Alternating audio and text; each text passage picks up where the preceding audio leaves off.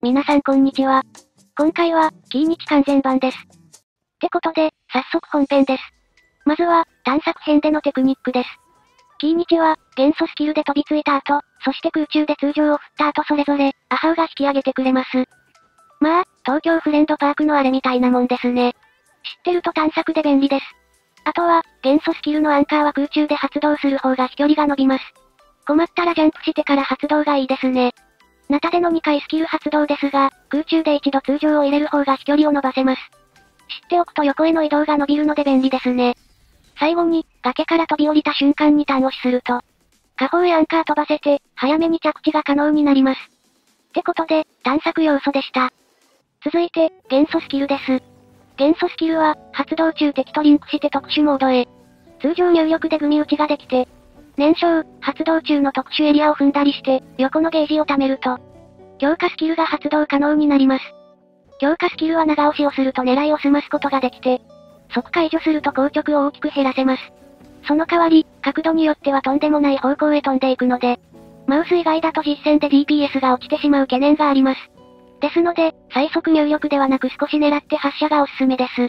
ただ、こうすると恩恵がやや減っている気がしますが、当たらなければダメージレイって考えると色々難しい感じですね。あとは、国用セットのヤコンチの消費条件は1回目のスキル発射時から適用されます。ですので、最初の数発は会心率バフが入っていません。まあ地味ダメージなので、総合的に見れば誤差なのでいいと思います。あとはヤコンバースト後の強化スキルはダメージがアップします。この画面が瞬くやつですね。ナタキャラを1名以上入れているとき元素ダメージ命中時発動です。元素爆発です。元素爆発は、スキル中に使うと効果を延長できます。主な用途としては、スキル、通常に強化スキル、爆発カットイン、強化スキル、通常にって流れです。カットイン中にも設置物は勝手に動いているので、この間に2回目のスキルをチャージしています。理論値を出すと、爆発挟んで5回の強化スキルが打てるんですが、ちゃんと、スキル中のエリアを踏む必要があるため、先ほどの長押しでの硬直キャンセルが生きてきます。ただ、これ使っても結局ギリギリだったので、ある程度は気休めなのかもしれません。ちなみに、2通常1強化スキルが理想的な攻撃回数です。ですので、3通常を1回でもしてしまうと結局きつい感じがしますね。編成については、大きく2択です。燃焼軸、あるいは列開花軸が主流です。激化とかもまあできんことはないですが、アルハイゼンでナショナル編成する、みたいな感じでもあるので、一応組めますという感じかな。燃焼編成についてですが、戦力とかはこんな感じになります。はい、エミリエがいるとさすがに編成 DPS が大きく上がりますね。これはある程度仕方がないですね。特化分野でも微妙ってなれば生まれてきた意味を知る RPG ですからね。汎用既存キャラの劣化レプリカみたいなもんです。で、シャンリンは敵によっては命中精度が不安定ではあるので、完全単体前提であればエミリエナヒーダベネットが候補になりますね。ただ、そういうことはあまりないので、大体シャンリン、トーマ、ディシアあたりとベネットになる感じかな。あとは集敵を混ぜたいなら強引に風キャラを採用したり、エミリエの枠にも名を採用したりが可能です。大体風入れる場合は、キーニチ、風、ベネット、炎ってなりやすいかな。ベネットがほぼ固定化されやすいです。まあ、そもそも回復とサブアタッカーという両立をできるキャラがほぼいませんからね。耐久面まで考えると結局ベネット続投ってなりやすい。そして、2個目の軸が列開化ですね。編成をどう組むかって感じですが、フリーナ入れると結構無難に追従してくれますね。イエラン入りは、通常を何回挟むかがやや不安定かもしれません。ただ、基本はこの二人のどちらか水枠にするのがおすすめです。範囲ダメージも固定値でかなり高倍率であるため、複数もやや対応がしやすくなりますね。キーニチは燃焼だけでなく、列開下でも補助が入るので、列開下もかなりおすすめとなる編成の一つです。薬術は最低限スキルという殺しだけでも仕事はできますね。まあ、爆発を回すに越したことはないですけどね。ってことで、おすすめ武器のコーナーです。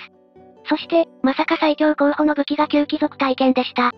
ちなみに、計算データ的には、ベネットなし運用だとは思われるのですが、モチーフに次ぐ2位でしたね。武器効果はダメージ発生時に会心率アップ。会心が出れば効果がリセットされます。全体比較を見る前に、大まかな武器候補です。旧貴族シリーズはスターライトが必須であるため、基本はこの辺りで持っているもの、あるいはアースシェイカーがおすすめです。それでは比較なのですが、まず、ベネット想定がこちらです。モチーフや異界のしるべ、飛行体験が高くなっています。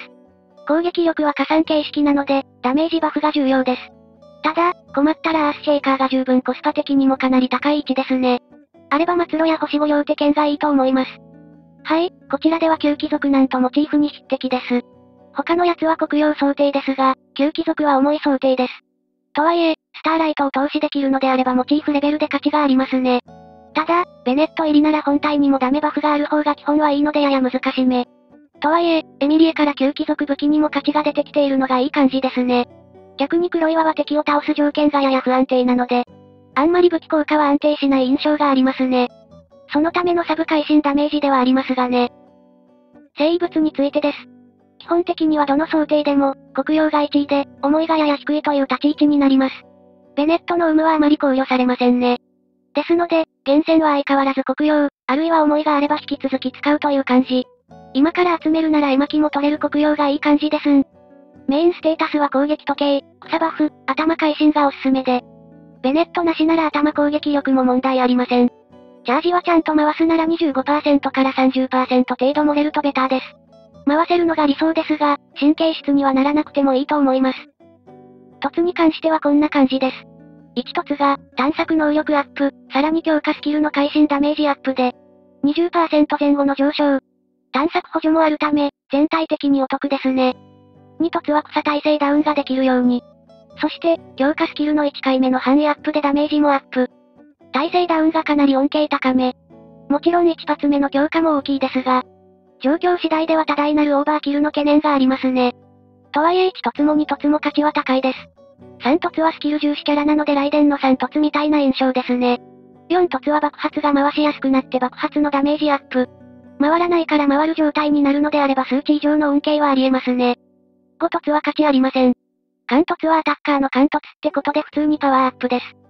ただし、3から関凸までに4回の凸が必要であるため、平均値で考えるとまあ、って感じかな。凸の費用対効果はそのまま効果の高い凸が連続するに凸までがコスパもいいと思います。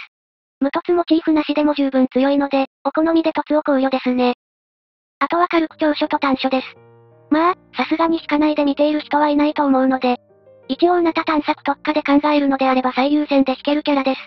ですので、探索を快適にしたいのであれば引いてみてください。あとは白念とは案の定という会話と草なので、絵巻シナジーがないため、シナジー強化はマービカや5.2で実装されるキャラ次第な感じになりそうですね。ただ、年少を考えるのであればマービカまで追加の強化キャラは来ないかもしれませんね。操作には癖があるので、使いこないたい人は頑張って慣れましょう。ということで、キーニチ完全版でした。以上です。ご視聴ありがとうございました。さようなら。高評価チャンネル登録よろしくお願いします。